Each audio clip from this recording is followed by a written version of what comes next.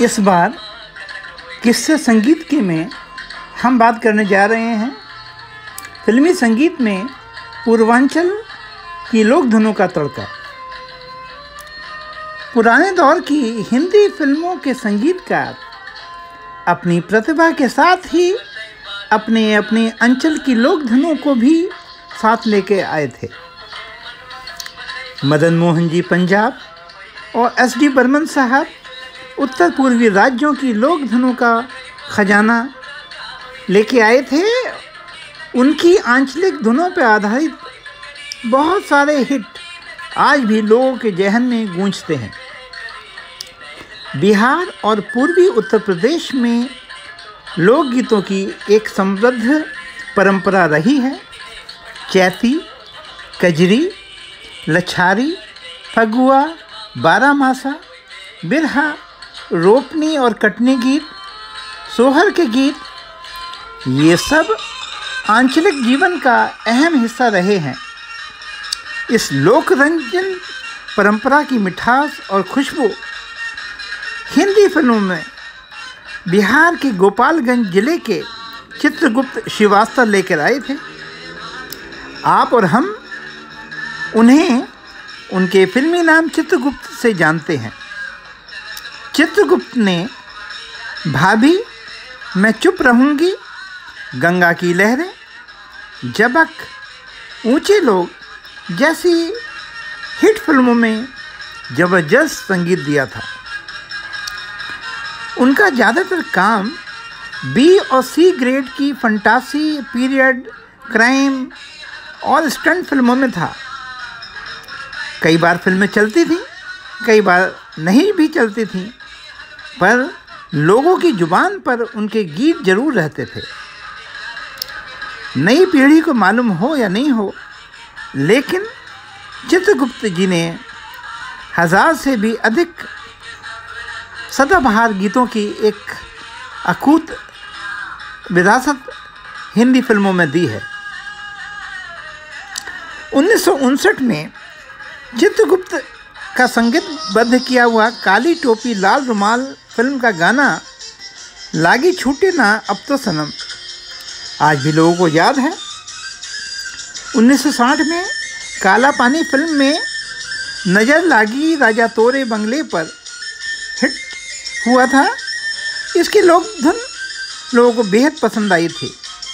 उन्नीस साठ में ही उनकी फ़िल्म माँ बाप आई। इसमें लागी उनकी सूरतिया कुछ ऐसी भली गाना था। इसमें भी बिहार की आंचलिक खुशबू थी। 1961 में सबसे पहले पूर्वांचल की लोक धुनों पर आधारित एक नहीं, कई हिट गाने नौशाद साहब ने गंगा जमुना फ़िल्म में दिए थे। नैन लड़ जइहें ना मानू ना मानू ना मानू रे दगाबाज तोरी। हमके विधाता दिहाले, हर गली, हर सड़क पर गूंजने लगे। उन्नीस में एक भोजपुरी फ़िल्म आई थी, लागी नहीं छूटे राम। ये फ़िल्म सुपर डुपर हिट हुई। चित्रगुप्त ने इस फ़िल्म के सारे गाने कंपोज किए थे।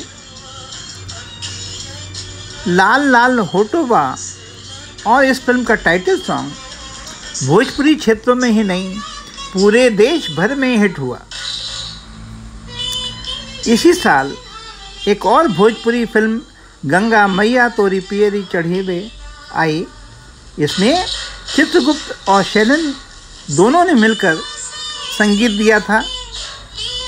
इसमें, हे गंगा मैया, और काहे बसुरिया बजाले जैसे हिट गाने आए थे।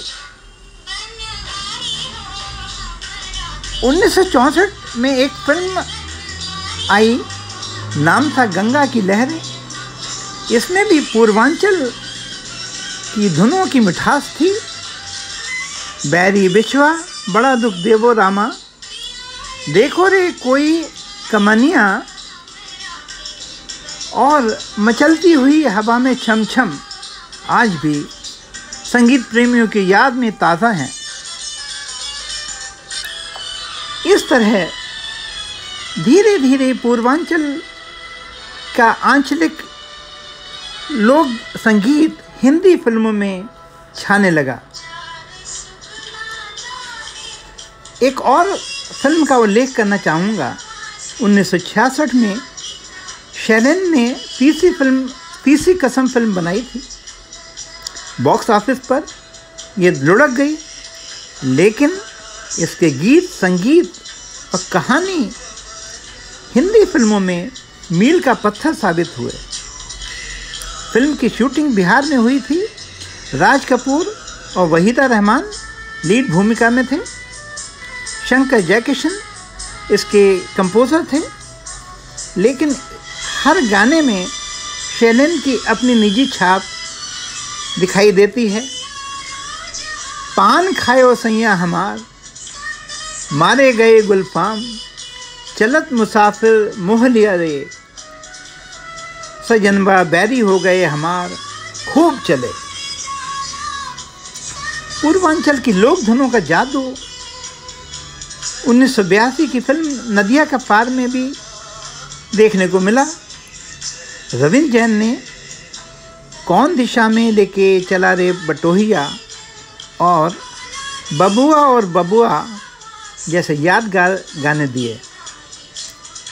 बाद में इसी कहानी पर उन्नीस सौ चौरानवे में राशि प्रोडक्शन ने ही हम आपके हैं कौन फ़िल्म बनाई जो हिंदी फ़िल्मों के इतिहास में सबसे लोकप्रिय फ़िल्मों के शीर्ष पर पहुँच गई इस फ़िल्म में एक विदाई गीत है, बाबुल।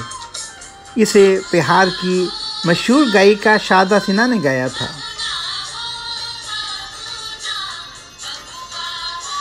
दो हज़ार तीन में प्रकाश झा की फ़िल्म गंगाजल में भी पूर्वांचल की कुछ बेहतरीन लोक धुनें देखने को मिली।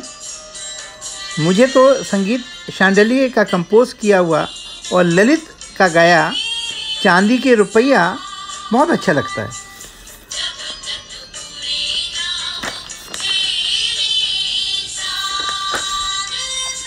पिछले सालों में क्राइम विषय पर बनने वाली फ़िल्मों का, काफ़ी सारी फ़िल्मों का कथानक बिहार के कस्बों और शहरों के इर्द गिर्द घूमता है। 2015 में once upon a time in Bihar film आई थी। इसमें मोहित चौहान ने सुबह का आगाज़ गाया है। हालाँकि ये गाया तो थोड़ा कंटेम्प्रेरी अंदाज में है, लेकिन ये पूरा का पूरा तमाशा गीत है। पिछले दिनों गैंग ऑफ़ बासेपुर श्रृंखला के दो फ़िल्में आईं। इन फ़िल्मों के दो गानों का विशेष रूप से उल्लेख करना चाहूँगा। खुशबू राज और रेखा का गाया हुआ ओ बुमनिया और दूसरा तार बिजली से पतले हमारे पिया, जिसे शारदा सिन्हा जी ने गाया था।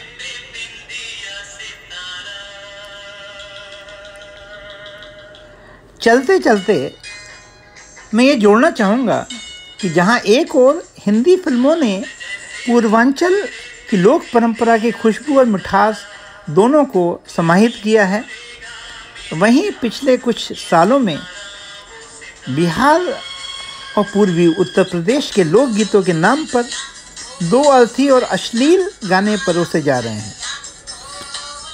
लेकिन मुझे भरोसा है कि इन सब का जीवन क्षणिक ही रहेगा। मित्रों इस बार इतना ही। अगली बार मिलेंगे किसी और संगीत किस्से के साथ।